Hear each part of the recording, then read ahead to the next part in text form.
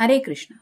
आज का टॉपिक है, कोई फिदा है आप पे? तो क्या है इस पर्सन की दिल की हालत और क्या है उनके दिल में आपको लेके जज्बात? ये जानने की कोशिश करेंगे आज की रीडिंग से। दो ओरेकल देख है, उसमें से लेने वाले हैं पाँच पाँच कार्ड्स और साथ ही साथ टैरो में से भी लेंगे पाँच मैसेजेस तो शुरुआत करेंगे हम कार्ड शफल करके।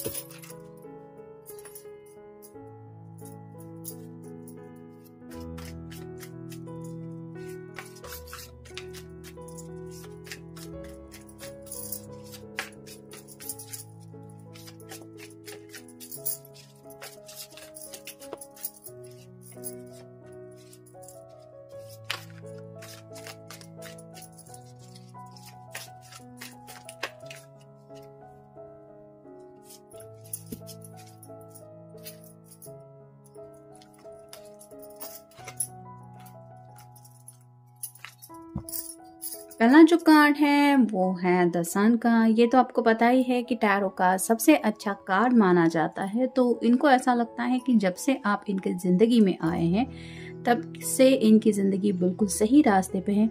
यानी कि जैसे सूरज की रोशनी हम जब भी देखते हैं तो उस वक्त हमें किसी और लाइट की ज़रूरत नहीं पड़ती बल्कि हमें क्लैरिटी मिल जाती है कि एग्जैक्टली exactly कहाँ पे क्या है। हम हर हालात को भी देख पाते हैं और आगे को लेके भी कुछ ऐसी बातें हम प्रेडिक्ट कर सकते हैं कि हाँ ये रास्ता सही है या इस रास्ते पे पत्थर है या फिर इस रास्ते पे आगे बढ़ना सही है या गलत है। तो इस तरह की कई सारी बातें हैं जिनको लेके इन्हें काफ़ी ज़्यादा क्लैरिटी मिल चुकी है और मे भी आपके आने तक इनको लग रहा था कि इनकी ज़िंदगी काफ़ी ज़्यादा बोरिंग है स्लो चल रहा है सब इनकी ज़िंदगी में, लेकिन अब ये चाहते हैं कि एक सही दिशा में जब इनको राह दिख रही है तो ये उस राह पे ही आगे बढ़ना चाहते, यानी ऑब्वियसली आपके साथ ज़िंदगी में आगे बढ़ना चाहते, क्योंकि उन्हें क्लैरिटी मिल चुकी है कि आप उनकी ज़िंदगी में आने से इन्हें क्या क्या बेनिफिट मिल रहा है, या फिर इनकी ज़िंदगी में क्या पॉजिटिविटी ये फील कर रहे हैं, या और भी फ्यूचर को लेके क्या पॉजिटिविटी फील कर सकते हैं। फिर है five of swords air sign Gemini Libra या फिर एक्वेरियस कुछ लोगों के साथ शायद इनकी अभी भी बहस चल रही है।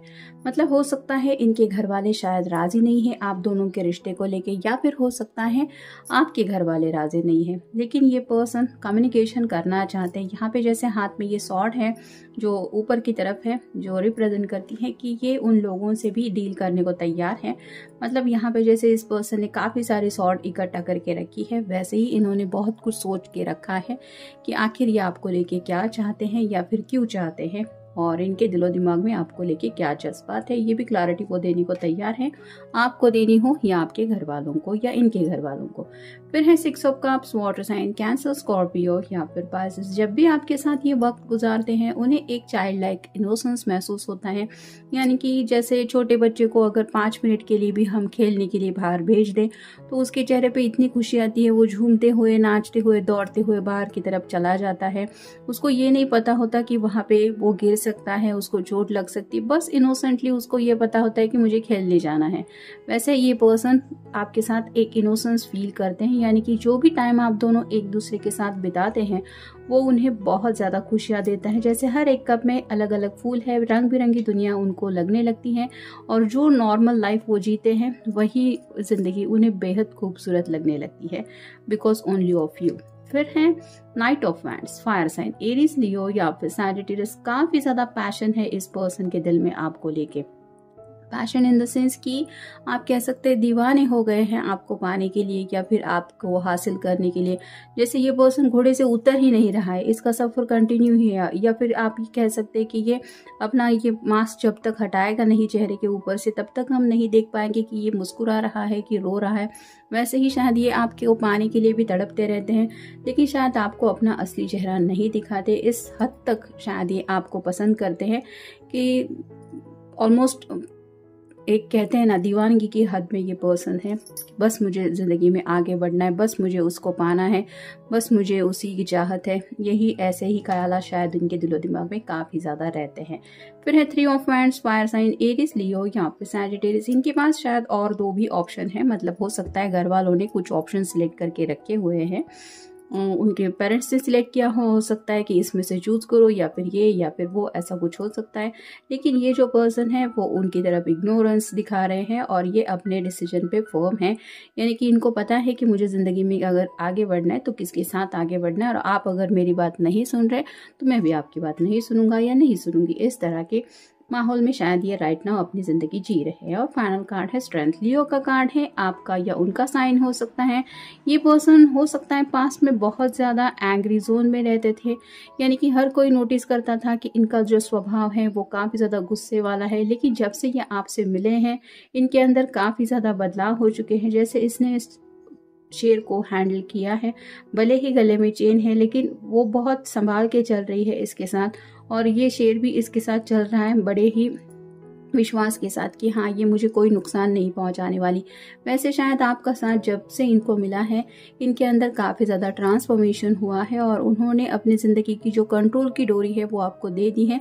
यानी कि वो चाहते हैं कि अगर वो गलत रास्ते पे जा रहे हैं तो आप उन्हें रोके। आपको उन्होंने वो हक दे दिया है कि आप उन्हें रोक टोक कर सकते हैं या कर सकती है।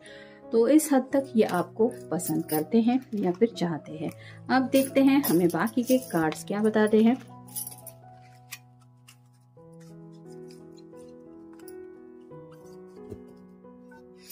I feel guilty for the way I treated you तो उन्हें लगता है कि जितना प्यार आपसे इनको मिला है या जिस तरह से भी आपने इनको हैंडल किया है, भले ही इनका गुस्सा हो, इनका मूड स्विंग होना हो ये खुद को दोष देते हैं कि मेरा पर्सन मुझे कितनी अच्छी तरह से ट्रीट करता है। फिर मैं ही ऐसा क्यों हूँ कि मैं उसको, उसके साथ ऐसा बिहेव करता हूँ या करती हूँ?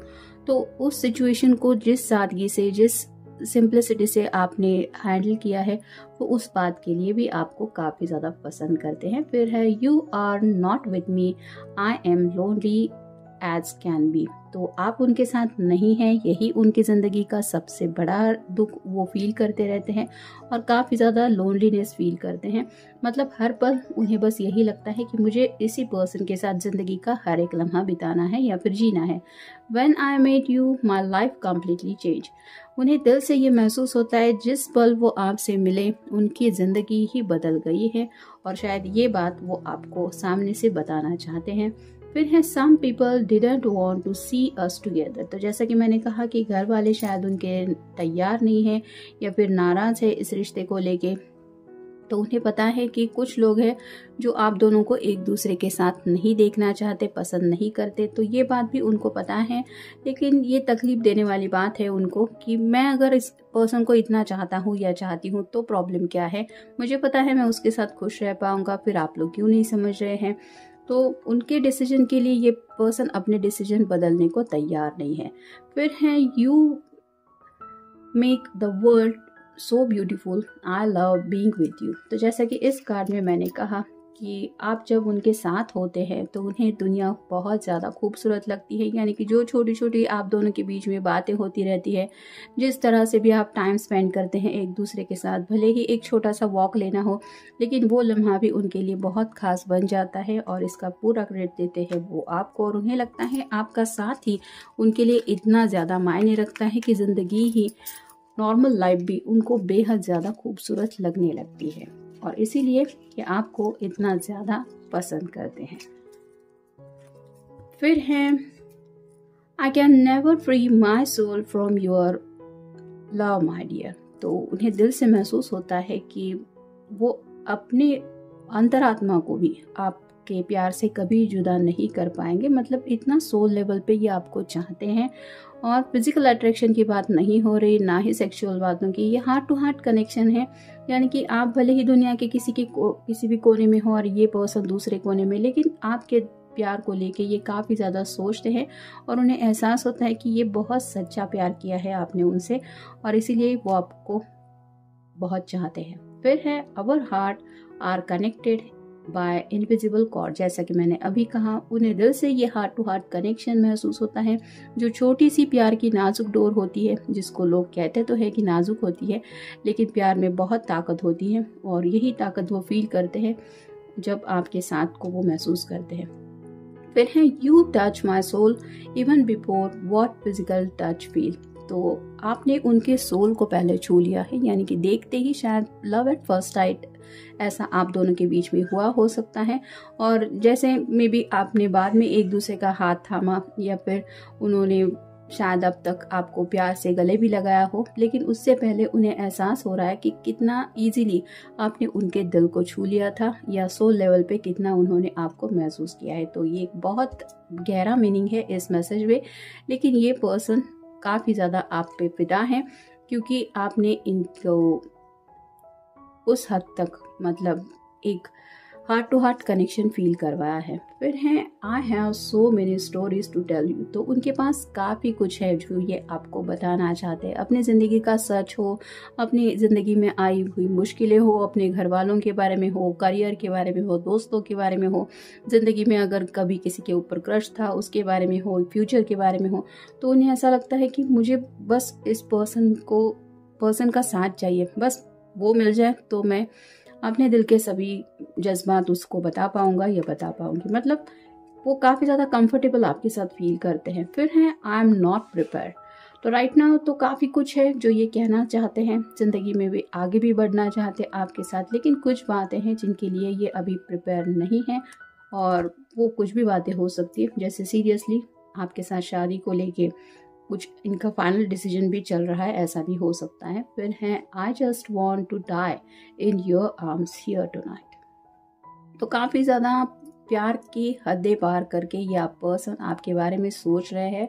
और जैसे कि ये कार्ड बता रहा है I just want to die in your arms here tonight तो वो बस चाहते हैं कि आपकी बाहों में वो अपना दम तोड़ दे। मतलब वो आगे के बारे में नहीं सोच रहे टू नाइट कह रहे हैं। यानी कि अब जैसे आपसे ये दूरियाँ वो बर्दाश्त ही नहीं कर पा रहे हैं। उनको ऐसा लग रहा है कि जैसे आज अभी अगर कुछ आगे बढ़ना नहीं हो रहा है तो मुझे बस अपनी पर्सन की बाहों में दम तोड़ देना है। बस उसको देखते हुए मैं ये दुनिया छोड़ दूँ। मतलब इतना ज़्यादा वो आपके ऊपर फिदा है कि आपको देखते देखते इस दुनिया से रुखसत होने के बारे में भी ये सोच रहे हैं। तो आप समझ सकते हैं कि ये पर्सन आखिर आपसे कितना ज़्यादा प्यार करते हैं। तो जनरल रीडिंग है. Have a nice day